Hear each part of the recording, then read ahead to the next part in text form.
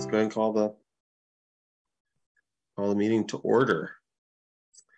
Uh, first up to approve the agenda. So if everyone can take a look and I'll take a motion to approve.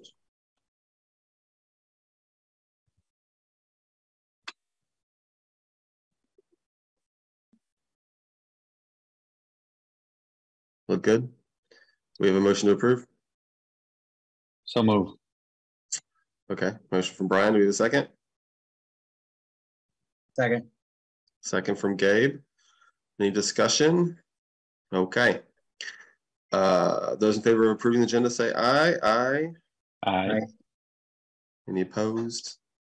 Okay, so agenda approved. We can proceed. Comments from the chair. Um, I don't really have anything that comes to mind. Uh, you know, we have a lot of balls in the air, I guess. Uh, but um, no new developments or anything for me. Does Does anyone else have anything of interest? Okay. Um, then the next on the agenda is general business. I don't see any members of the public here to discuss anything that's not on the agenda, so we'll breeze past that and jump into um so Mike, we have the uh, review of the revised web page templates. Um, so yeah, so uh, so yeah, we took we took a look last time.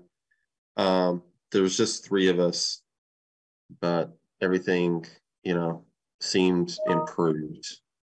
Um, did you want to us to to pull it up and look at it, Mike, or were we waiting for SE Group or or what? I I remember I talked to them last week and I wasn't sure if they were going to be able to make it. I know Julia was definitely not going to be able to make it. So I sent I sent them invites, but I wasn't sure if they were going to make it. Okay. Um, that's okay. We can we can pull it up. Everyone, there's a there's a link um, in the agenda. Do you want to pull it up and share it from your end? I can do that. Um,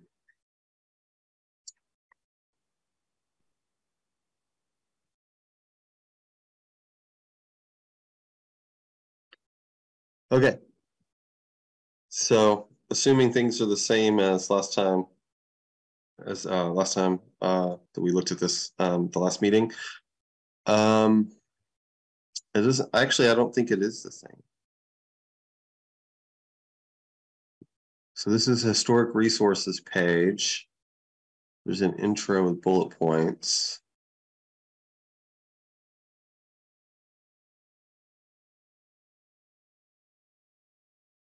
I think they were trying to make the shift to making it more forward looking at the start. Okay. Um, I didn't, I wasn't able to watch the previous meeting. I, I knew it was pretty short, so Uh, yeah, Aiden just uh, just brought us through it, and we checked for the things that we've given feedback about, and it was there. But yeah, it looks like maybe some more work's been done since then. Um, it didn't didn't sound like they were going to have a lot of time to work on stuff because they're under they have a couple other contracts that are closing up, so they were going to be out.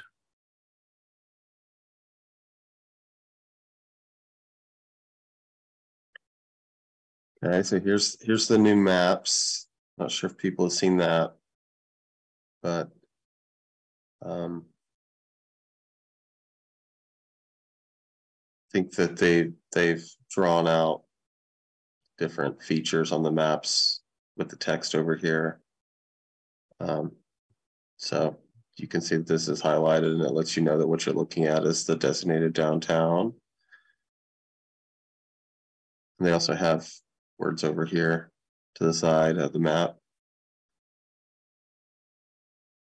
Um,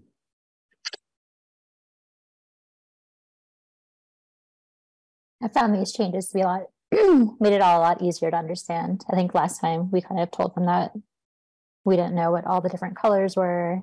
So I think it's really well laid out now. Yeah, and they've added these buttons. That was something from last time. Um, so yeah, I think that the the maps are more like what we've said. Um, with the synergies with other plan chapters.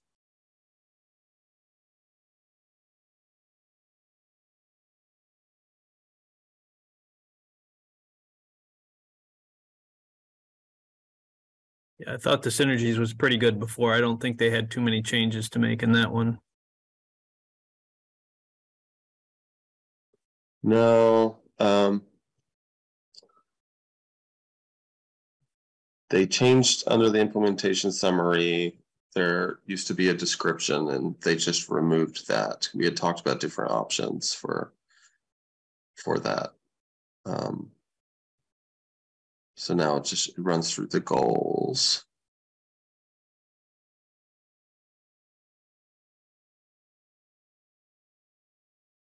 And then who, yeah, who is involved got put to the bottom. Yep. So so we talked about that. Um, anybody have any response to the current state? I think those maps are awesome.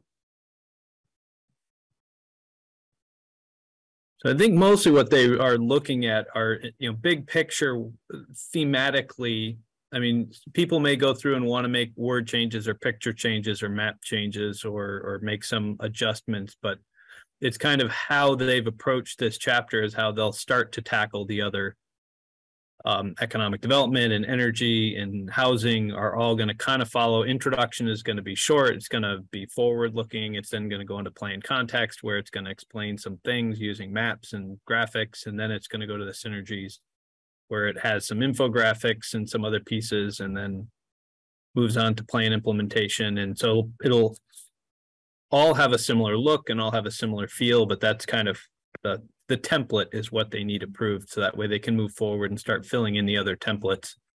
And then we can start having discussions. Maybe we do have changes we have to make here because there's a word or a picture or something that we'd like to go and phrase a little differently and certainly I expect when historic preservation goes through this, you know, when we do our public hearings, HPC will go through it and they'll probably have some input on things they would like to, you know, we should be emphasizing this a little bit more and we shouldn't be talking about that quite as much. Well, that's perfectly fine. We can make word changes. You know, all the Yeah. way through.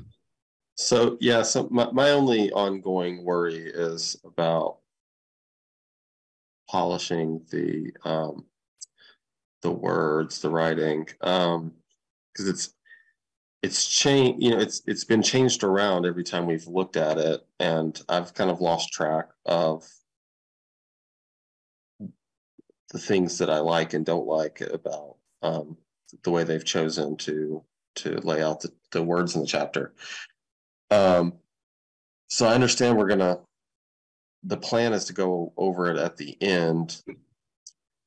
I think it we we we kind of have a plan, right, for the for for the language that's going to go into the to the future chapters. They're going to give give us a chance to just review it and make suggestions for those, right?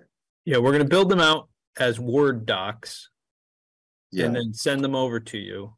So they're not going to build out web pages anymore like you what like you see now because that's kind of work intensive. But now that they have the the template, they're going to go and build out the word pieces. They're going to try to take as much as they can out of the chapters that we had developed. We developed the chapters without knowing how to write a storyboard. And now that we have a storyboard, we're going to kind of go in and grab the pieces we want or we think that are most appropriate to meet the template and then we're going to build these things out and then go and provide you the word docs that say these are the words that are going to go into the introduction these are the words that are going to go into the plan context. These are the words we're going to use for synergy. And then you guys can go through and review those um, and kind of give a final blessing. We're hoping it's this isn't a big process because we're going to be trying as we said taking from all of the chapters you guys have already reviewed and already approved. So the hope is that there's a little bit less that this isn't a, a, a heavy lift for us to quickly be able to go through a number of these chapters to say, yeah, I think I think energy looks pretty good. I think historic resources looks pretty good, but I changed these little pieces here. So we're hoping it's relatively quick and that we're not trying to spend, you know, an hour and a half on each Word doc. Um, and and maybe Kirby, you and I, you usually have a larger um, editorial presence on these. So maybe we work with you to kind of go through before it goes to the planning commission, just to go through and say, all right, I'm going to take a first shot at this, and then we'll go to planning commission, and hopefully it'll be pretty close. Yeah, that's fine. That's that's totally fine. And like you said before, we've we've already gone through and tried to polish up the chapters. So if they're the more that they're pulling directly from from that stuff, the better. Um, yeah, that's the thing I'm nervous about because you know, you put all this work in, and if we, I don't want to you know fumble on the one yard line, so to speak, about about the content.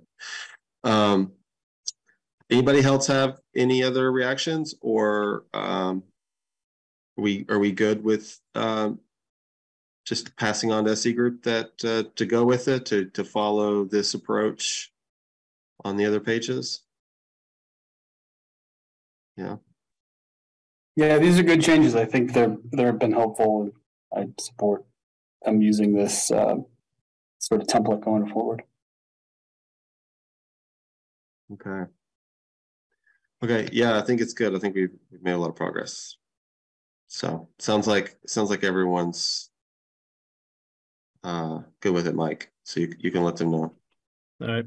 Yeah, and I'll be in touch, Kirby, about what um, word chapters for the next for the next meeting. We'll get a couple queued up. I'll get them to you to take a look at.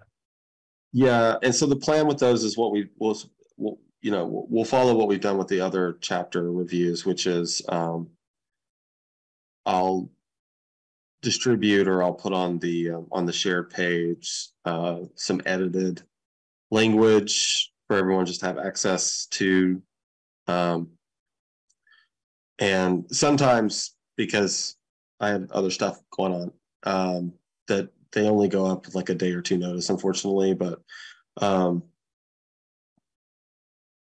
I'll try to get them up sooner, just to give people a few days to read them before the meeting. So if, if people come in and we're able to review them ahead of time, then you know we don't spend a lot of meeting time.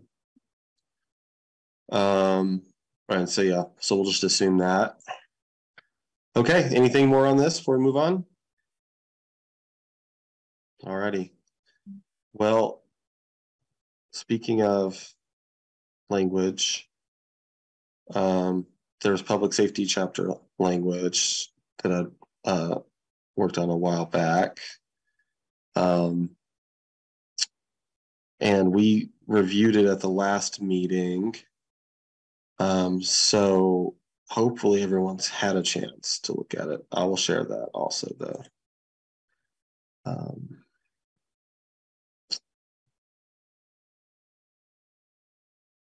but it seemed like we were in pretty good shape with it. Uh, last meeting, by the way, didn't have a quorum. There was just three of us. So, but those of us who were there, um, we're good about it. Yeah, sorry Um, about that. It was vacation week. I mean, you know, kind of to be expected. Um, okay. So I'm just going to assume that folks have had a chance um, to review it. So I'll just ask if anyone has any changes or feedback.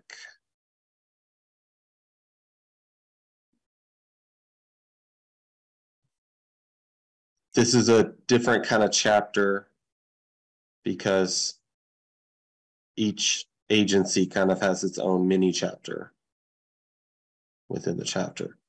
Uh, and it looked to me like some of these things were written by the agencies themselves because I don't know, there's a style difference between some of the um, paragraphs going from agency to agency. Um, as far as as far as editing um the i remember uh, wanting to make, make sure we didn't have factual, like, like, like opinion type statements, stated as facts. So just kind of rephrase some stuff, like Mhm. in this case, the um, Yep. MCJC thinks that there's a long history of success as opposed to us just like the city claim claiming the city has success kind of thing. Um, but the rest of it was pretty straightforward, I think. So, anybody have anything about the chapter language for public safety?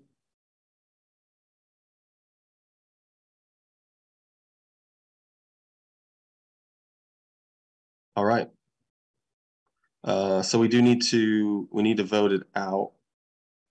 Um, and then it'll be passed on to SE Group to do their thing. Uh, so if people are ready, uh, we can take a motion to approve or approve and amend.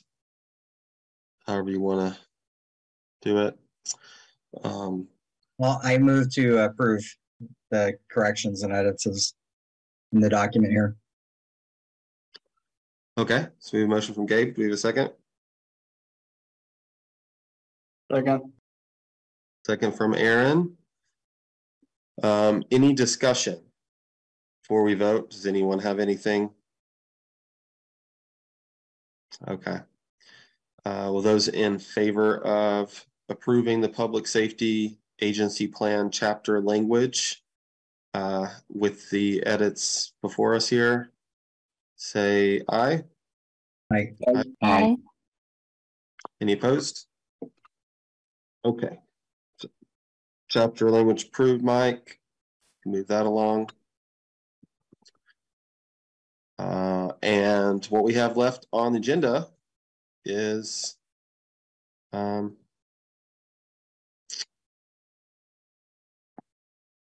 review of zoning. So go ahead, Mike, take it away. Yeah, so I've been working uh over the past two weeks on putting together the strikeout version, which is what we need to start warning the zoning update. And we won't probably do our warnings for another couple more weeks. Because we're gonna still wait till after we get the Country Club Road decision, but we can start reviewing those strikeout versions among the planning commission and be ready for public hearings. But um, there were a couple of places where we need to make some decisions. And by we, I mean you need to make some decisions on what we want to try to do. And we've had these conversations before. So I think for Maria and Brian, this will be new, or um, maybe you were here for some of some of these. But one of the ongoing questions we've had is about density. And what do we want to do? Do um, every year we've made some proposals and we've lost many of those. Um, but we're back with another zoning amendment. And did we want to um, put in a proposal this time? Uh, the uh, where we got to last time was there's always been a conversation of eliminating density. It was a conversation that was a part of the um, AARP Congress for New Urbanism proposal that went through. There was a proposal that said, you know, density is is not a good measure to use for regulation um, because it doesn't really get at what's important. So we've always supported the removal of density altogether.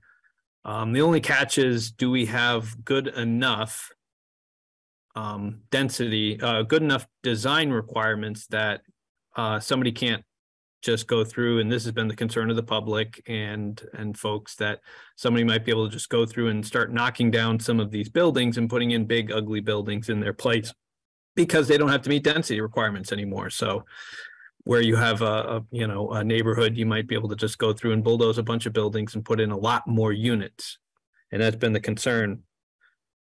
Um, so we've always had a proposal. Maybe we just eliminate density altogether and go more with design standards. Um, the last time the planning commission discussed, there was generally acceptance that we certainly could be able to eliminate the density in the design review overlay district. There is certainly enough regulation in that area to eliminate the density. Um, there was maybe a proposal to just go through and say, let's try to eliminate density in a couple of districts. Um, it's already, there already is no density requirement in urban center one, two, or three. So that's most of our downtown doesn't have a density limit. You can have as many dwelling units as you want in that area. Um, I don't know if it went through in Res fifteen hundred. There was a conversation of eliminating it in that district. I don't know if that one ever went through. Um, but that would be another idea, residential fifteen hundred or a couple of these high density residential districts. Maybe we would be able to eliminate the density in those. So that was the second option, or the third option, all districts, design review overlay. Just some districts, maybe that's the push. Um, and then I had made a suggestion of maybe we just double double the density, um, kind of as a way of keeping to release the pressure on things. Um, you know, eventually making density, we may still have a density requirement, but it really doesn't come into effect very often because, um, you know, it, it because it's not really what people actually do. Um, and so let me use it as an example. We did already go through and say, if your property is conforming, that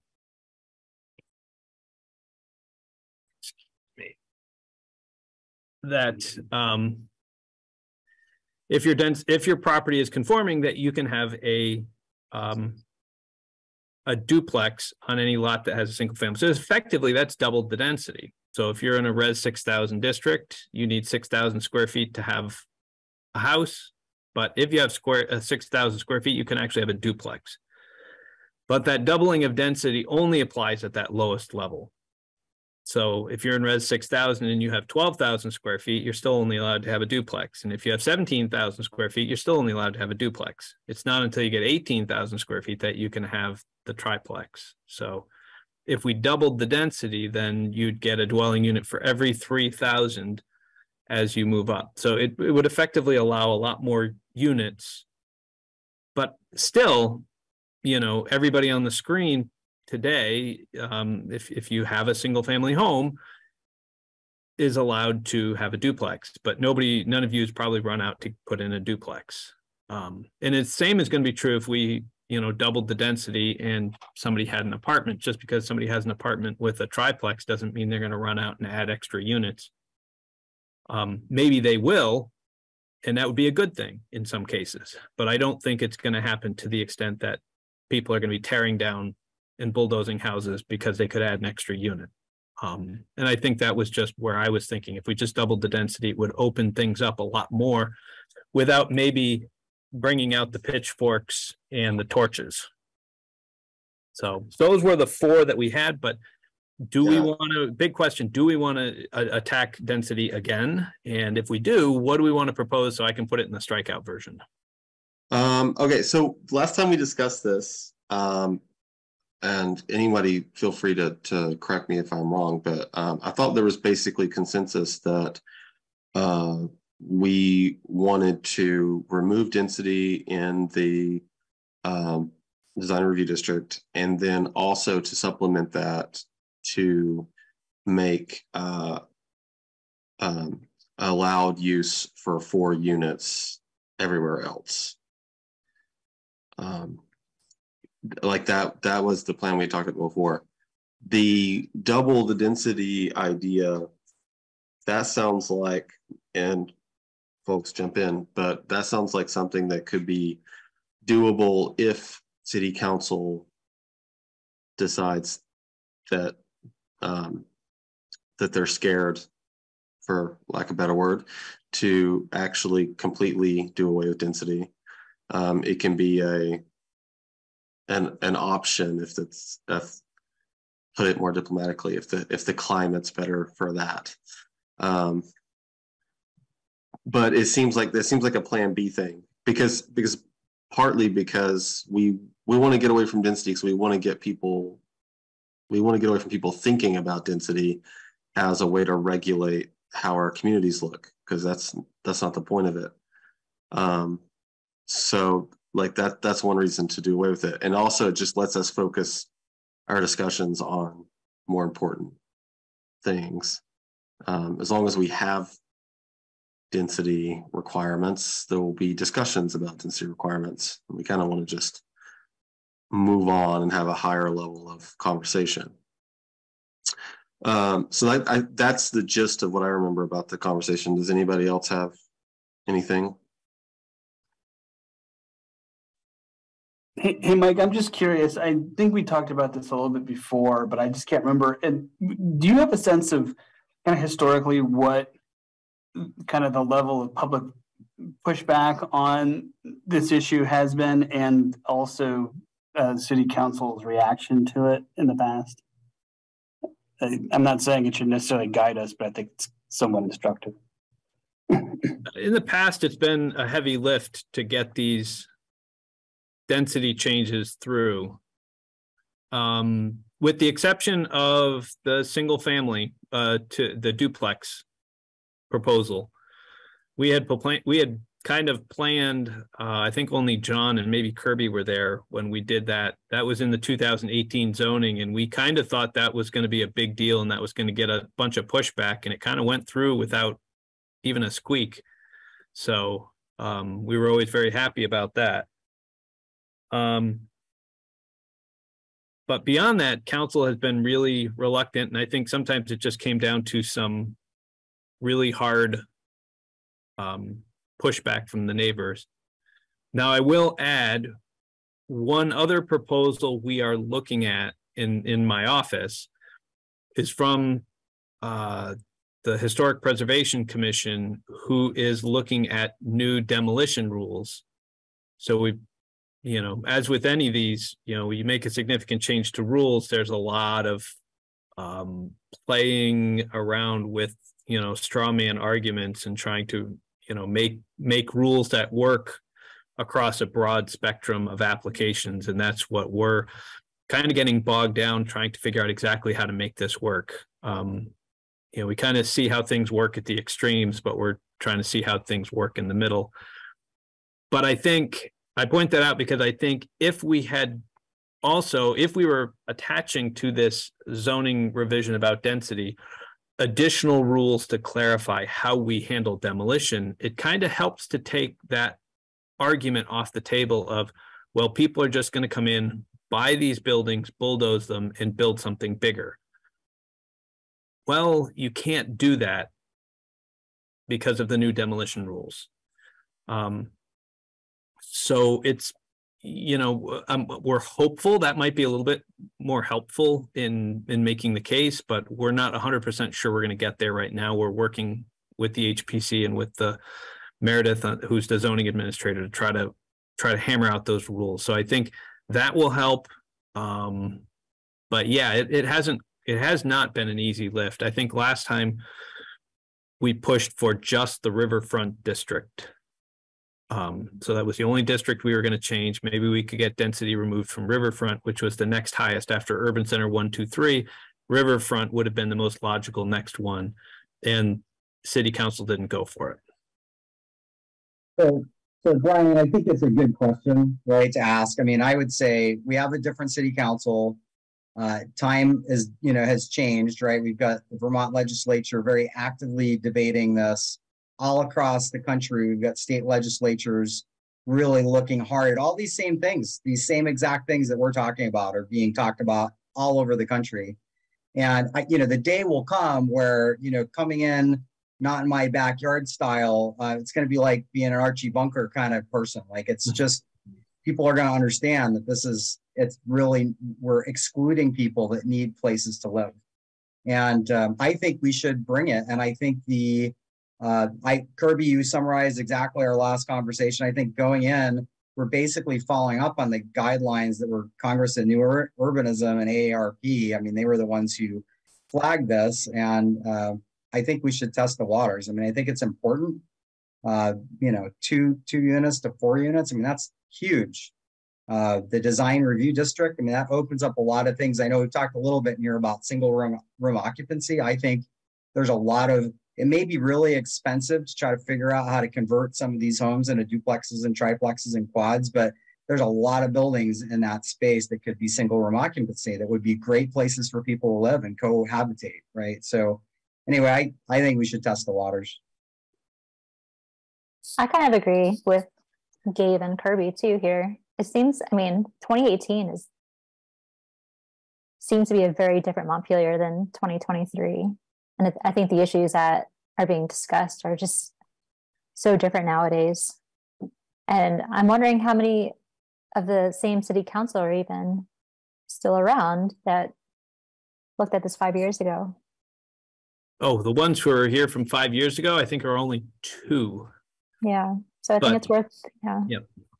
in the face of the, well, it's not all about politics. And Gabe, that was Aaron's question. I'll, I'll take credit for asking. I'll take the credit for asking a really good question, but, but, um, Sorry for I'm inclined to take, Sorry, Aaron. take your, take your lead on the design review district and the, to the quad.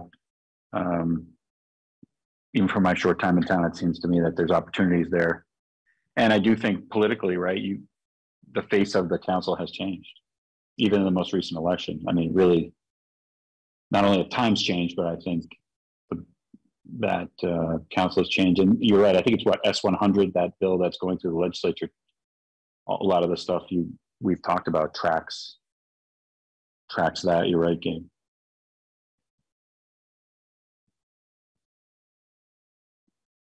And I do have other proposals for the use table. These were just the big ones because we did, I did have some suggestions about splitting like multifamily into um, two different groups Right. from, you know, five to 14 is one set of uses, which would be more perm- permitted or more permissible. Um, and then um, using the existing table really just to apply for um, those that are 14, 15 units or more. And that really just pegs multifamily to what is needed in order to trigger a conditional use review. And that was really why, because you, you need to have at least 15 units before you're going to start to trigger traffic. And so we really should just make an assumption that if it's less than that, it's permitted use. So that's one of the changes that's in the use table. Um, That's excellent, Mike. Thank yeah, you. so that's one. Uh, the, the other one is, it goes a little bit to the, to the SRO uh, question. SROs are, are dwelling units in a lot of cases, but also the congregate living. Um, there's a thought about how to break up the congregate living as well, and we had some discussions about maybe that um, right now, congregate living is all one line. And so regardless of whether you're a congregate living, you could have a congregate living. Um, I'll give an example. When I was in Barre City, we approved one and um, it's kind of one of these, believe it or not, there are uh, two units above Gustos uh, in uh, in Barre.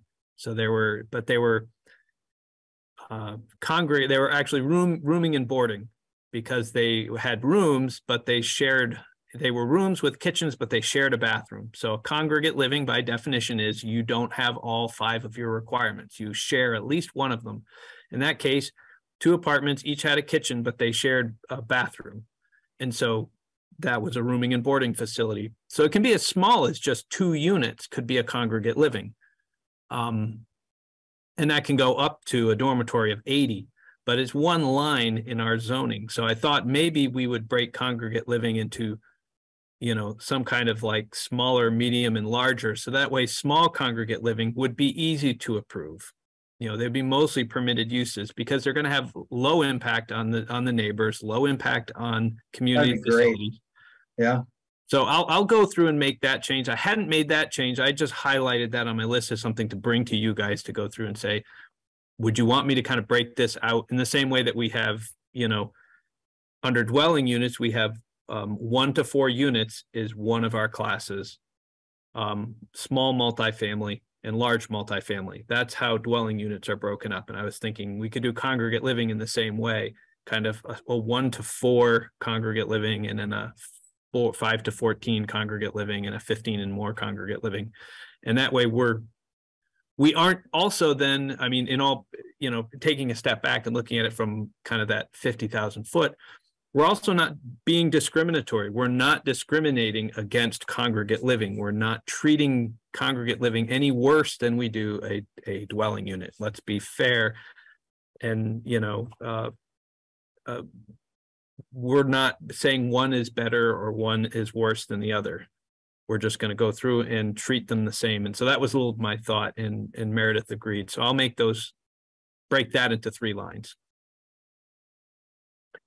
Uh, just another quick question, and I'm sorry if this is a silly one. I, density is, is a very fuzzy subject for me. I, I conceptually have kind of a difficult time with it, but this has been a really helpful discussion. I was curious. Um, I mean, when we were talking about the AARP, you know, recommendations and uh, the discussion that stemmed from it, I think primarily focused on what we're talking about here, which is you know duplexes, triplexes, quads, you know, but would making the proposed changes that we're contemplating have any impact on other kinds of infill development, like accessory dwelling units, etc or is that something separate and apart? And if if they do have an impact, like what is that impact? Um, so accessory dwelling units, basically that was why we did the duplex was to kind of take the accessory dwelling unit out because legally it's only allowed to be applied to a single family home. Um, so once you have a duplex, you can't add an accessory apartment to one of your duplex units. That would make it a triplex. Um, so it kind of that was a little bit of why we broke it up. But now in this case, if we said if you have a conforming lot, so if you're in res six thousand and you have six thousand and one feet, then you could have a quadplex if you want to, according to what the planning commission is proposing right now. Now, if you have five thousand eight hundred, you can only have a single family home with an accessory apartment um, because that's everybody in the state is allowed to. And we've um, put these rules in place to to say, and that's our rules we put in place that says we're talking about conforming lots. And 90% of all the properties in every zoning district are conforming. So for the most part, we're talking about most properties would be allowed to have between one and four units. And I think that would probably increase the amount of infill potential that we can see. That would be my um, my my thought on that. Where might make less of a difference is when people are coming in for larger projects. So we haven't increased the density for um, multifamily. So if somebody were coming in to do, you know, a, a 20 unit building, they're they're still going to be restricted by the density um, of the of the district. So you'd have to have that many square feet. So that those larger projects don't benefit as much as smaller projects would with your proposal. Except for the in no density requirement in the design review overlay district. So obviously, if you're in the design review overlay district, you'll have um, unlimited unit potential, but you're also in the design review overlay district where it's hardest to demolish buildings and hardest to, you know, you're going to have a lot of burden in putting something new in. How does the uh, how does the the project over at the Elks Club uh, impact? Because I don't, we'd have to do some zoning changes to make all that possible as well, wouldn't we? Yeah, and some of that we'll have the conversation because that proposal will go through at the same time as this amendment that we're putting together is. So um, the only reason I raise that is because I think at least some of the conceptual drawings there are, you know, larger footprint multifamily structures over there, right? So that would, even though we're talking about this design review district for the one area, there there could be other areas that we say, hey, an apartment building might be, you know, good over in this other space. Yeah, well, so we're talking preliminarily about the lower area in the country club. So those of you not familiar, the, the lower part of Country Club Road near where the existing um, old country club building was or is, um, and where the flat area is around it, that area we're estimating we would probably make mixed use residential or riverfront, kind of something like that, probably mixed use residential. Um, and that's got um, one unit per 1500 or 27 units an acre. So that might be enough to get all the density that they're talking about. But certainly, um, it would, you know, we could have that conversation.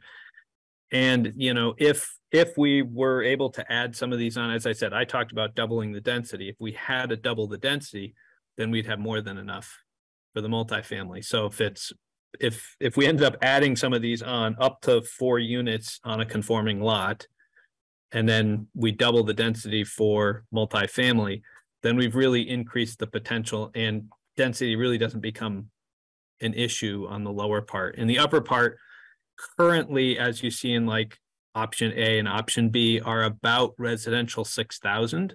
Residential 6,000 is the same zoning district as College Street. So we kind of feel that's has the right feel to it. Um, but if it stays as townhouses and is built as single parcels, kind of as a condo, you'd probably be limited to those, say, 25 or 28 units. If it got subdivided into smaller parcels and then sold, then you could get double that because, or now four times that. So there, there's a there becomes a much bigger difference between the two between how much units could get built because if somebody subdivides it into you know 10 single family lots to put um, duplexes triplexes and quadplexes on um, then you could get a lot more units than you could as a condo pot project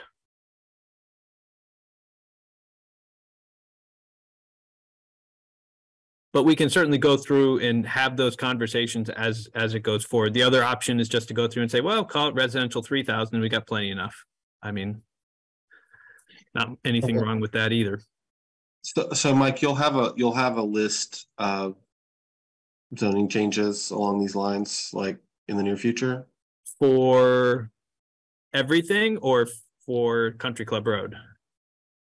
Um, just yeah, just everything, I guess. I mean, if um, if yeah, going to be. I've gotten through. I've gotten all the way through to the start of the definitions. I've got a handful of definitions I have to do. I had a couple of places that were highlighted, and I had to find out what you guys wanted. And we need to wait on Country Club Road, so I won't have a Country Club Road. Um, but I can make these other these other additions up to four units on a conforming lot I'm not sure how to do the design overlay district because it's an overlay district, but I'll have to just I'll I'll think creatively about how to okay how to do that one. Um, so that was the density. Um, and if are you got anyone else have questions on density before I go to the next one? All right, so the next one, and I don't know if Maria and Brian were here for this conversation, but I know everyone else was solar access. Do we want to go back and uh, charge the windmill on solar access with our new with our new ones here? And well, one I... one that I might do is to get a legal opinion on that one because now that we know that it actually may not be legal for us to do this, I might get a legal opinion from David Rue that might give us a little bit more to go through and say. But if you guys said no, we don't want to ruffle that one again, then I won't.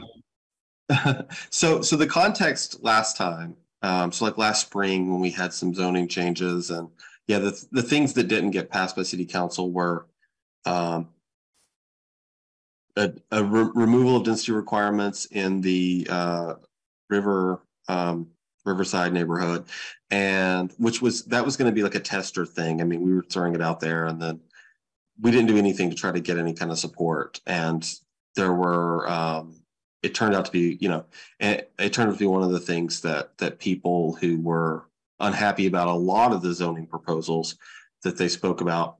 So anyways it didn't have a lot of support. I want to say a few things though. Uh, and then solar shading was the other one the thing that, that we're talking about now. Those were the two things that weren't approved last time both of those things um, my read of the city council and based on their emails to me too was we there were supporters uh, and and when they voted against it, there was an invitation by um, I don't. This is embarrassing that I'm blanking on his name, but the person who's now our mayor, uh, Jack McCullough. McCullough. Uh, you know, Jack was acting as the head of city council in that meeting also Mhm. because um, Ann was recused for other purposes, other reasons. But uh, anyways, Jack himself back then said, please, you know, do more work on this and come back for both of these issues. So, so I, I took it that the support was there from the city council. Just we just didn't get the votes because there wasn't a perception of public support. Is is basically. So um, I I think that yeah they they've invited us to come back. So I think that maybe we should with the shading, and um, part of the what we need to do with the shading issue. I'm going to stop and I'm going to catch you guys up in case you don't know what I'm talking about in our zoning, uh, and correct me if I'm wrong, Mike, in our zoning right now, um, if you were going to construct something new, uh, there's the zoning cares about the shading that you create in what you're building on your neighbor's ability to put up solar panels. Um, it's not just about blocking current solar panels. The way it's written right now is if it might block future prospective solar panels, then you may not get approval. Um, and uh, we try to simplify that and we try to make it less strict because it's it's really really quite strict as it is. Um, we at the time when we realized the city council was not a was was skeptical of the proposal, John Adams, who, as you all know, is great with maps, did some mapping and discovered that 97% of the shading in Is from trees, and that we really don't have a buildings causing shading problem. Um, and uh, he also, John also pointed out that um, the whole thing might be counterproductive anyways, because if you build up a new roof, say, you can put solar panels on top of it. So whatever whatever shading is being created, space for solar is also being created. So why stop the building? You know. Um, so anyway, that's that's where that was. Um, and Mike, you can you can supplement the explanation um, as well. Uh, but the gist of it was, yeah, that they they were interested in us coming back, um, and it was really I would say wanting to wanting to not be perceived as doing something that's counter renewable energy would be the main reason why the uh, the city council kind of backed away from it. Yeah, so the zoning rules are extremely broad. They actually say you can't shade walls, roofs, and yards. So really, you can't even shade somebody's grass. So it was really the way the the zoning is written. It's it's extremely broad, and so we proposed to just eliminate it, but we also uh, except for protection of existing and proposed solar facilities. So you couldn't shade an existing or proposed um, solar panels or something to that effect. Um, if they just limit it to roofs, then I think that's less of an impact. But um, uh, eventually, where this comes down to is, and it was actually pointed out in 2018, but um, it was in the middle of a giant. Some a, a lawyer had come in in opposition to the zoning, and in a list of his many many complaints against the zoning. One of them was actually that this was a violation of the theory of ancient lights. And i was like yeah whatever. And i let it go um, turns out it actually there actually is this theory of ancient lights which says that you know no no there's no state in the united states that allows you to that that grants you as a right as a property owner the light that appears on your property. So and this really comes down to if you think about like building in new york city a 50 story building um, if there wasn't this theory of ancient lights then everybody who gets shaded by that new 80 story building would be able to basically come in and oppose the project because you're casting a shadow on my house.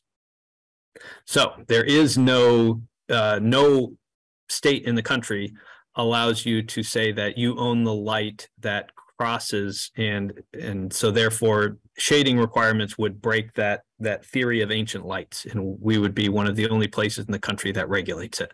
So turns out they were that that complaint that long list of complaints about the zoning actually had one that was right. So um and i know this because we then had this set of rules appealed to court last year and the person who appealed it lost but they lost under other other extraneous stuff. Um so but it did bring up those points. And so we could certainly go and bring it up to go through and say hey you know not only does it really really strictly inhib- inhibit and prohibit our ability to do infill projects because you do a development, you build something, and you have to make sure it doesn't cast a shadow on the shortest day of the year. So when you're casting the longest shadow, you can't shade any of these other places. And so it's really absurd.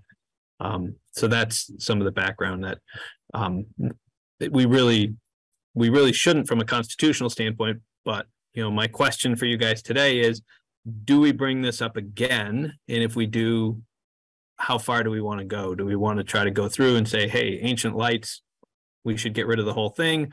Or are we going to make more of a political play and say, let's try to restrict this just to something? We're only going to apply it to roofs, or we're only going to apply it to this. So that way it's not taking such a big bite.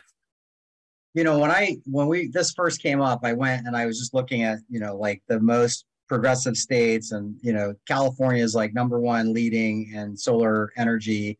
And their case law is basically what you had proposed as the solution right? It's like if you have if you've got nothing else right you have to have an existing or you know you've got a permit to put one up right? If you're creating a problem for a project that's been approved well you can't do that. But otherwise you know you you same same sort of thing. I don't remember if that was in there the ancient lights idea, but I think between that having a legal opinion, it's just not legal, and then having John's analysis, which is like, look, that this city couldn't exist.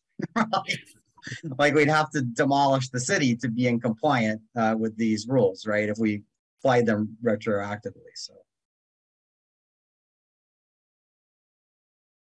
And remind, was this part of the 2018? Is this part of the recent, that rule put in place in 2018? Is that what? Yeah, it was first put in place in 2018, and then we tried to amend it and remove it at least at least once and maybe twice. Why was it put in? The the Good it question, was Maria. it was suggested by our consultant, and um, and it was because we had a very pro um, you know we're going to be net zero and we want everybody to do energy efficiency and we want to do all this um, the rules kind of went in without a lot of um, and again when we redid the zoning it was everything. So there was a lot of stuff that didn't get as much careful review as other things. And this was one i didn't like a lot but i kind of managed to wiggle it over to a place where it wouldn't get used very much. So it's only in major site plans, which we don't get very many major site plans. But one place you that is a major site plan is new construction. So if you're constructing on a vacant lot, that's going to and it's larger than a single or two family, then it's got to go through major site plan, and that's where you get tripped into this this rule. So if you do a triplex or a quadplex, and I think one of John's suggestions uh, in the past was, well, let's take site plan and make one to four unit projects exempt from site plan. That would then get most of these out of it. But again, it would still exist. So there, there are a couple of ways of, I guess, minimizing the pain. It's still there, but we minimize the number of times it's going to show up. But at the same time, it's probably it may not be constitutional and it's generally i think a bad idea um, and i thought so at the time but you know you pick your battles I like the idea of limiting it to, you know, casting shade on solar panels or I think Gabe, like you said, if someone has like a permit to get a, solar panel. So it's not just like this like amorphous someday, maybe I would want to get a solar panel in my backyard, and how dare you? Um, so yeah, I think to me that's a good kind of uh, limiting feature as opposed to just getting rid of the entire thing. Yeah, and that's probably where I would go. It's where we ended up last time, two years ago, was the proposal was really to, or maybe it was last year, to just go with existing and proposed. Um, and we can define proposed however we want. Um, because I think that makes sense. If you've if you've invested in a solar panel, um, especially most of these should be rooftop solars anyway. So, uh, and it's so um, yeah, I I've got something I can put together for that, and that would um, be able to fill in that line there. Um, Yeah, I think, I think, let me, let me jump in real quick, Okay. Mike, just, I think this, this time, you know, we're trying to, trying to be smarter, um. Uh, this time we'll just make sure that in our proposal that we include John's research. Um, I think, by the way, I think you were asking if we thought a legal opinion was a good idea, and it sounds like we do, based on what I heard. Um, so if we can put in John's research in with our proposal and we can, and we can include, um, any legal opinion we receive. Uh, I would say that ask for the legal opinion, I wouldn't ask for just any, like for that one theory though. I would ask for just generally, um, what's the legality of this provision? Um, well, he was our attorney when we went to court this year, so he's he's already Mhm. somewhat familiar with it, so it won't be an out of the blue thing. I mean, it's it's a set That's of great. provisions he's already looked at because we were sued under that, um, or an appeal was made under that provision. is this still being litigated? Nope, Okay, It was a, it was a strange. It's just, it was a, it was a strange appeal in, in its foundation, so it was really more of a, a. What would you call it, uh, it's, um. They, like, they weren't in the design review district, they thought they should be in the design, equal protections. So they said, uh, this is a violation of the equal protections clause under the US Constitution. Because I'm not in design review and I should be protected in the same way that properties are in the design review district. So oh, okay, it was kind of a real, it was kind of a reach and there was, but it also drew in the, in, under that same argument, there was an equal protections that said, I'm not protected by this, the solar access, but I should be. And so under equal protections clause, I should be protected under these rules. okay, And so, you know, our attorney did look at it from, but not from the standpoint of um, what we would be hoping it would be looked at. Um, you know, we want to see, we were kind of hoping like, oh, this would be good. We can get a, get a, a look at this from an, from a, an attorney, but Yeah. that, that part of the question never came up. okay, yeah, I remember you telling us about that now, okay. Um, so yeah, I, thi- I just think, I think that, uh, you know, for this and for the density thing, we'll just want to, we're just gonna make sure that we put in our memo, our explanation to city council, you know, our full reasoning and make sure we do a good job with that. In addition to, um, the other things we've talked about too. Like So we may- ones. The, the other recommendation we may do, because, you know, we've all gotten, uh, you know, uh, comments from Peter Kelman and from other folks that, that we don't do enough outreach at the start. So what we may do is get our proposals put together even, and even before we hear from Country Club Road, we may have some time as a planning commission to just go through and have a public input session where we say, hey, this is not the public hearing. There's going to be a public hearing, but we want to invite people to come in and talk to us and we're going to put information out. Maybe we can get an article in the bridge. Maybe we get to go and say, this is the proposal that we're going to be making and we'd love to get your input before we warn our public hearing.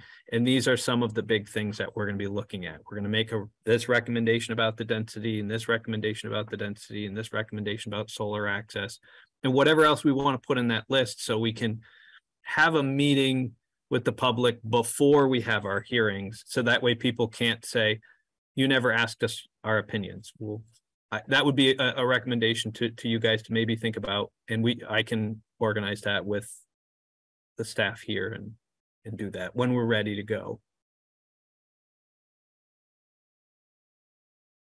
so the last one I wanted to run by you, um, I, I've heard, you know, from, from Gabe on this one, um, you know, a couple months ago now.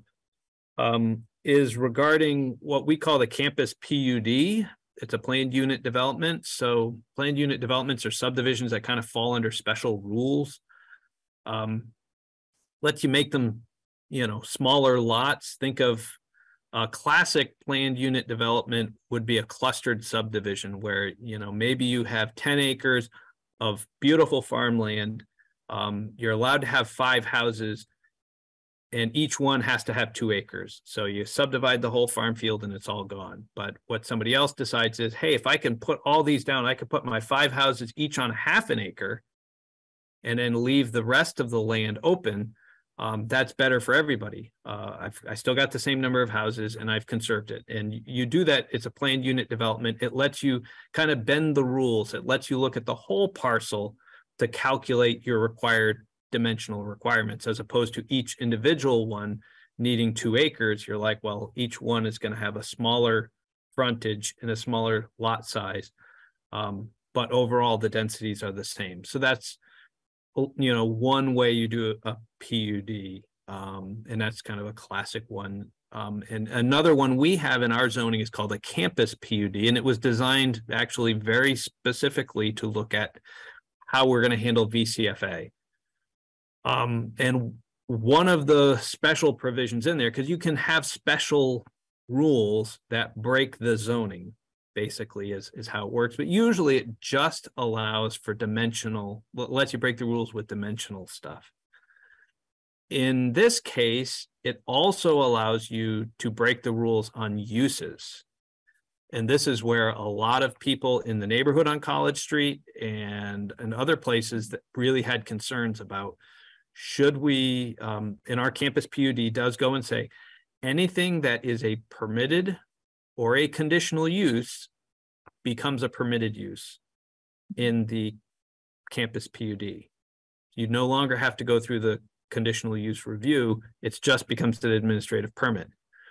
And the campus PUD can request from the DRB other exemptions. So other uses that are not allowed in the district can be added into the district as well. Um, and so that has kind of gotten a lot of people scratching their heads and saying, I'm not sure I'm comfortable with that. Uh, it really kind of sounds like it's the Wild West. Um, you know, the planning commission writes the zoning to allow things uh, based on densities and districts and everything else, and suddenly everything goes out the window if the DRB decides to to give broad things, and these carry forward forever. Um, so it really becomes very difficult to claw these back in the future, uh, as opposed to what happens with a lot of people is, hey, I think this use should be allowed in the district, and then everybody gets the right to do that use. Um, so we did hear, I did hear from a number of folks as the campus PUD was going through, and eventually it failed. The the VCFA did not do the campus PUD, um, but uh, how the campus PUD rules came about was really through. I was working directly with Tom Greene and the folks at VCFA when we were writing the campus PUD rules, and we kind of had two approaches going. One was um, in the past, so before 2018 that was medium density residential district. So it's a residential district. Colleges are not allowed where VCFA was. Nothing was allowed up there. You weren't allowed to have colleges. You weren't allowed to have all these uses. So really was a problem to for them to to do any you know adaptive use of their buildings. They were, weren't using a lot of their buildings. They wanted to you know lease it to the state for office use. Well, you can't do that. It's not allowed. You're in a residential neighborhood. So there are a lot of those types of issues. So we had two approaches. One was to come up with a campus PUD, a new set of planned unit development rules, which would give you more of the flexibility that you need. You approve your, your master plan, and then we'll let you get some uses that you're not allowed to have. At the same time, we were talking on the other side, maybe we would just rezone this area stop calling it medium density residential. What what we could rezone it something that would give it more uses. And we did eventually do that. We made it MUR, mixed use residential. So a lot of new uses are now allowed in that area. And they got the campus PUD. So they got both. So the question now is, well, because you've got most of what you wanted here in the mixed use residential, maybe you don't need, you still need the campus PUD because the campus PUD allows you to do other things. You get to have uniform signage, you get to have a shared parking agreement. So you can do, you can sell off all those buildings and everybody has to meet uniform design standards and sign standards and, um, you know, the density requirements are shared throughout. So you can, you know, the green the development potential of the green is used in some of the other buildings, that type of stuff. And you've got the shared parking agreement because one person's going to have the parking lot and everybody else needs that parking lot. So there's a shared agreement. Um, eventually, they decided a different route to get it done, but at the same time, the campus PUD still rules still exist. And I thought it would be a good time, especially now that nobody's applying for a campus PUD, it might be a good time to go back and revisit that question of should we allow the DRB to adjust the use table or should people who are in those campus PUDs, you know, you're going to get a whole lot of other benefits from other things. One of them is not being allowed to do uses that you're not allowed to do, that other people don't have the right to do. And I hope that makes some sense in all my rambling.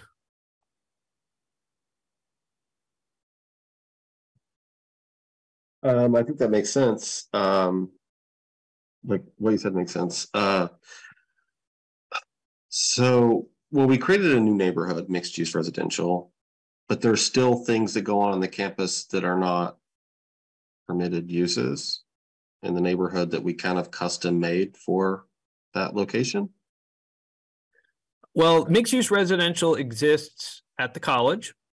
It exists on Elm Street north of Spring Street. So as you go up Spring Street until you get, I don't know, to, to where that little parking area is for people to go fishing. Uh, it's on Northfield Street. Northfield Street's another section from the intersection up to and including um, the Econo Lodge. So all of that is all mixed use residential. So they didn't get any special zoning. They got the same zoning as these other places but they do have a lot of uses. You could be a, you could put a hotel up there because we have mm-hmm. a hotel in the Econo Lodge. You could put uh, office uses. So there are a number of things, and, and we've talked a little bit about tweaking a few things. You know, maybe a few of these should be adjusted um, use wise on the use table because I think you can have personal and professional services, but you can't have an office. So I think one of the proposals is we'll put off law offices in there. It doesn't make sense that you can't have a law office on Northfield Street or Elm Street or up up on the college. Okay. So we'll add an office in, but other than that, we kind of thought most of the stuff that's going on is is well covered. Uh, it's well covered by mixed use residential and what's allowed. Yeah. Yeah, we could take a look at it. So is the um, proposal basically to anything that's currently allowed in mixed use residential but isn't in the campus PUD that we move it into the campus PUD? Is that what you're saying, Mike? No, what I was going to remove, actually, it's removing language from the campus PUD um, that gives the campus PUD applicants and the DRB the right to approve, adjusting the use table for uses within that approved PUD. So, you know, there'd be a, there are a list of uses and somebody can come in and apply to add stuff to it that isn't allowed. And usually it just comes down to a fairness issue. Usually when you create a district, the idea is uh, everybody within that district is treated fairly. You, you know, um, you know, I can operate a garage or I can't operate a garage. And my neighbor, if they're in the same zoning district, you know, we have the same rights and limitations. Um, this kind of tips the scale to campus PUD to go through and say, well, they're going to be allowed to do things that nobody else in the district is allowed to do. Or be, able to, or be able to get them to be permitted uses where everybody else are they are conditional uses. So you would have a hearing if you want to. I think a hotel is a good example. I think a hotel might be I'll just use that as an example. Maybe it is, maybe it isn't, but a hotel um, might be a conditional use. And if they got approved to make it a permitted use, they could just come in and do it as an administrative permit. And there's no public notice to neighbors and it just goes through much quicker. But there was a reason we said it that hotels should have a conditional use review because of their impact on the neighbors. So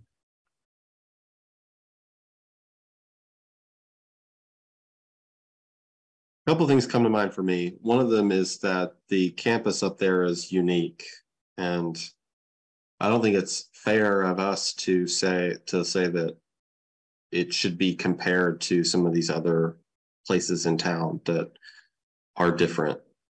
You know, like the Elm Street strip that you mentioned is I live right next to it. And I get how that makes a lot of sense for mixed use residential, but it is very different than the college green. Um, so, you know, that's one thing that comes to mind for me is maybe they should not be the same neighborhood. Maybe we should treat the campus as a unique thing because it that's just the reality. Um, another thing that comes to mind, and this is like kind of a minor issue, but I've got to say, ever since I've been on the Planning Commission back in 2018, when we talked about PUDs back then, or 19, or whenever we, you know, I've always thought that the PUDs we offer don't really offer much to people. Um, I've always thought like if I were a developer, I probably would say, well, what am I going to get if I go through all these extra PUD rules? Like a little bit more density, you know, like like a lot of the cases. It um, so so I, I don't know. That's just like a footnote thing, just to say that like it would be nice to have a discussion or or when these things come up for us to keep in mind, like what are we trying to get out of PUDs? What are we trying to entice people with? and is it going to be you know useful on both sides because i don't know but my general opinion is that that that the the developers don't get a lot out of the PUDs, um, or at least a lot of the options we have. But this was a case where it sounds like there was a PUD that did actually offer something um, of of some convenience. Um, No, and I, and I agree with you, Kirby. And I've I haven't, you know, it, it kind of goes back a little bit to there were two two groups as we went through 2014 to 2017. Um, one group went and said, let's make the densities really low, so um, you know, low density, and then have these PUDs which have higher standards. So if you want low, if you if you don't want to do these high, you know, these really nice standards, then then you only get low density. And we'll kind of kind of use a little bit of extortion to kind of get people to do this. And the other group that came in and said just make rules. If if if we want people to develop then we want them to make make it easy for people to do what you want them to do and make it hard for them to do what you don't want them to do we want people to build more housing units and have more density and what we're doing with you know option A was actually making it harder to do high density development because you've got to meet all these, you know, sometimes conflicting and ridiculous rules. Um, so really what ended up happening is we ended up with, again, both groups got what they wanted. So we ended up with high density new zoning, so 90% of everything is allowed. Uh, everybody's allowed to have duplexes. All these rules came into effect to allow high density development, and we had all of these other PUD rules. But most developers don't need the PUD rules because we basically have zoned things appropriately, I guess I would say. So, you know, I agree with you, Kirby, that I, I don't think ultimately the PUD rules are are offering developers much, but I also honestly don't think we should be. I, don't think we should necessarily be pushing in that direction. Um, I would rather see us, if we want things done, find some good rules, apply the good rules objectively as much as we can, and not make developers jump through extra hoops. I, I agree with you. I mean, I've I've always thought PUDs. It just seems like a gimmicky thing. It's just it seems like I don't know. When I studied environmental policy, there like all the rage was like using the market to make people do the environmentally correct thing. Let's create a market for this pro environment thing. And it's like, what? or we could just regulate it normally and take care of it. We could do that too and not have gimmicks. You know, so Yeah, there, um, there, there are times yeah. like like our general PUD and our footprint PUD both make a lot of sense. Um, we've got people who look look at both of those, and and the conservation PUD makes a lot of sense. And that was the one I told you about of you know protecting the farmland. We don't protect the farmland, but you will see conservation PUDs come up a lot when somebody has a lot of steep slopes or a lot of wetlands, and it just makes sense to go through and say, i you know, our zoning says you can't build up there but you own 10 acres of this land that you're not allowed to build on. Great. We're not taking away your development rights. Pull that development down to a place where you can develop and just put more of the density at the bottom. And we're fine with that because we get the protected steep slopes or wetlands or whatever it is. Um, and you, the property owner developer, um, didn't lose any of your development rights. You know, you still had them, you just had to put them in a higher density in a lower spot. And so you will see those three occasionally play out from time to time. Um, but really all these, um, you know, more exotic ones that we have in there about the infill PUDs and the new neighborhood PUDs, most developers probably wouldn't do.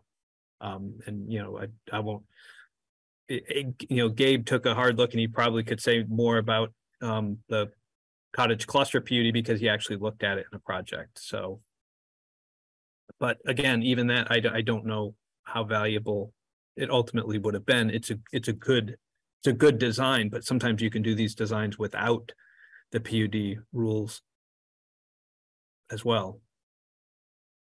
It sounded to me like the the campus PUD idea was they wanted to use that to stray from having just purely a residential zoning. Is that that's Um, just kind of the way I understood it. Yeah, in the past, so before, pri- prior to two thousand eighteen, it was mixed-use residential and they had a college PUD at the time or something like that. So it was, This is it was- VSC, Yeah, It was an, oh, it was an AIPUD, an academic institution planned unit development was the special PUD that used to exist. That, uh, that they had taken advantage of. Um, and that was how the college could make some changes up there. But it really was very difficult to use, um, and very arcane. And so when we were redoing the zoning, they wanted something new. And so we worked out new AIPUD rules that we call the campus PUD. Um, and then eventually at the same time, we recommended these other zoning changes, put it in the new zoning district and most of its issues went away. Um, because that new zoning district had enough density to meet most, and most of the uses, so it kind of fell into place that you know, even now they're selling the buildings and they said, well, we really don't need to do the campus PUD. We'll just sell the buildings without the campus PUD and be done with it. And that's what they're gonna do.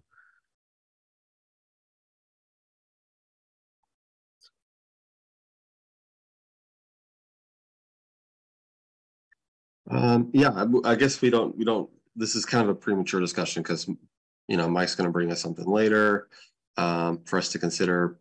But, um, But if the sense is you want me to remove it, I can remove, it. you guys can always put the, uh, you know, re- put it back in. It was just, I'm trying to feel out a couple of places where I just wanted to kind of get your sense of what your, where your minds are at. If you're like, no, just leave it in there. We, we like the PUDs, then I would, I'll leave it in there, but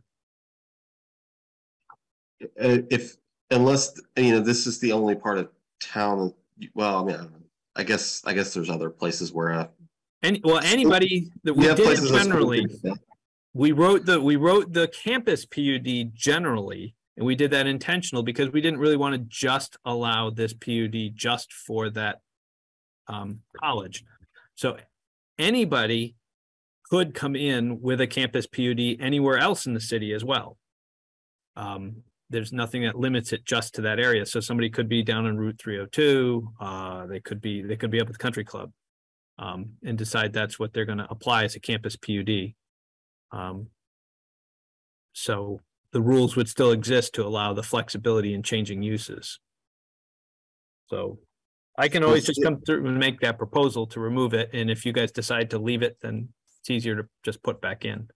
Okay, just, just to make sure everyone's on the same page. Um, so Mike's talking about for the campus PUD to remove um, the benefit of having an automatic approval for conditional uses. Um, and you know, the conditional uses would be for the neighborhood that that campus happens to be located in. So they would vary depending on where it's located. Uh, in this, in the case of the College Green, it's mixed use residential. And um, yeah, I mean, if we're talking specifically about the, the College Green, and maybe this is a can of worms, it probably is. I would think that maybe the best policy would be to make that its own unique neighborhood.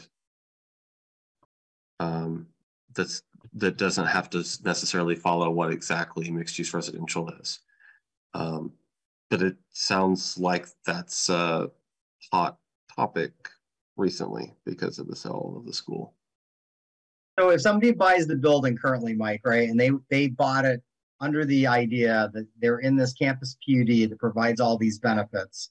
And then we change or rezone or any of that, um, are, are there repercussions for the people who bought the building, assuming that there was gonna be a certain type of process and procedure allowed or? VCFA withdrew their campus PUD application, so now there's no, they're just selling it without the, the PUD. And whoever buys it, they're just buying mixed use residential. They're buying mixed use residential. Okay, Um, alright. so the, the, the question started to come up with, all right, now we've got a blank slate. Once we got into it and had the public hearings to try to go and do the campus PUD, that topic, that allowable, that, that chance to allow the college to do things that aren't allowed, plus making conditional uses, permitted uses, was probably the number one complaint that, that, and the number one concern that we heard from neighbors. And so I thought now that we're in a in a in a state where nobody's applying for it, nobody has one, nobody ever got one. Um, maybe now's a good time for us to kind of revisit that with a you know because we we're not actually deciding any cases. Uh, we might as well take a look at it and decide do we want to keep that allowance in there because that was the number one thing we heard, and it may not be a good idea as you know as the professional planner. I'm not sure it's a good idea to allow that. I think if somebody wants that, that should come through a, a larger process. If you want to allow, if you want something that's not allowed in the zoning, you should have to come back to the planning commission and we can revisit in the same way that we have for Pioneer Street and a couple of other applications where people are like, hey, I, I want to do this. It's not allowed. And we said, well, we'll move you from this zoning district to the next zoning district next door. That's what we did on Pioneer Street. So I, I would say I, I agree with Kirby that we probably, and it's probably not for this round of initiatives. I think, you know, since it's, it's a good time to talk about it, since it's, you know, not, we're not being pressed on it, but maybe it's the next thing where it probably, it is a unique space and it probably should have its own rules. Um, but we should have it in a format where we can get lots of feedback from the public and have a good decision-making process.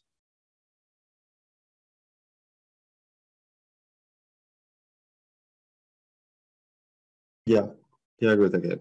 Um, so yeah, sounds like Mike, you can write it up the way that you said. Uh, you know, taking taking one of the perks out of the campus PUD. Um, And know, if we, and if we your, your reason, your reason is good. Your, your reasoning's good. I mean, there's a reason why, um, you know, conditional uses have an approval process. So ditching it arbitrarily is, um, could, could lead to unintended consequences, so. But we can have, we can have this discussion because we're gonna have to go through all these, you know, zoning things when Mike puts them before us to vote. Um, so we'll have another chance to, to consider this. Yeah, and I appreciate the help, because just, like I said, if any of these came back to, no, don't bother doing it, then I'm not gonna spend a couple hours putting something together, and that was just why I wanted to kind of float a couple of these by that are like, I know we've talked about these in the past, what do we want to, you know, what do we want to do, because I can go forward and make the strikeout copies and get stuff ready to go and bring these up to you guys, and we can start going through a lot of stuff, um, for Brian and Maria, for, for you guys most of these end up coming through as just typos and and lineouts and punctuation. You know, you're there's probably going to be. I think my list has sixty-five changes on it right now. Um, but most of those are, you know, typos and change this and move this section and we'll have a handful of maybe ten of them that are actually substantive changes. And then end up with a one or two zoning changes. So I, I don't think this is going to be a big there's not going to be a big hearing, except as it comes down to probably most of the things we just talked about. Um, and country club rezoning. Um, that'll probably be, you know, 54 changes and all the comments are going to be on five things. So.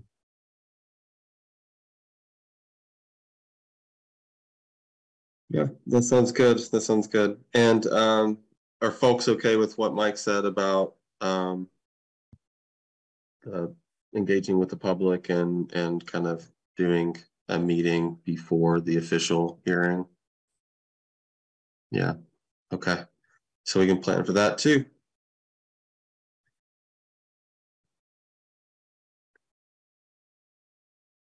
Anything else, Mike? Uh, nope, that is it for the zoning. So on to the minutes, I guess. Okay, so yeah, we'll just have to consider the minutes and then we can move on along. Um, so minutes from April tenth, if folks can review that, um, from the email, uh, with the agenda. And I'll take a motion or any edits before that. When you're ready.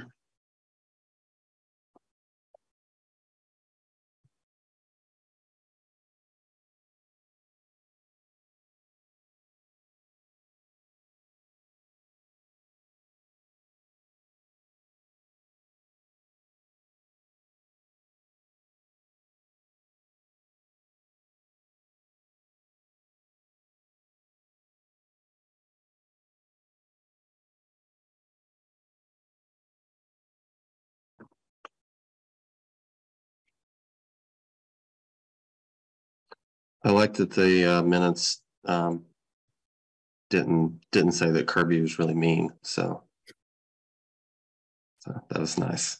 That's on page two. Oh, there's a page two on that. No, I'm just kidding. Were you really mean? He wasn't. I got I got kind of grumpy with the group. Um, just because we were seeing we were seeing the same things over and over again, and that without I don't know. I didn't I didn't feel like there was sufficient improvement, so I got a little grumpy. But I still feel guilty about it. So I so now I'm airing that in public again. Well, my grumpiness was in public too. So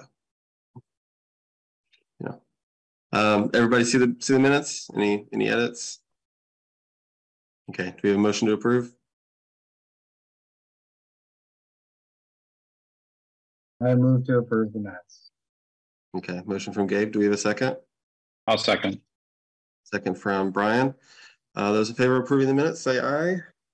Aye. Hi. Aye. Any opposed? Okay. Uh, does anybody have anything else before we adjourn? Okay, well, have a super evening. It's still lovely out and see everyone in two weeks.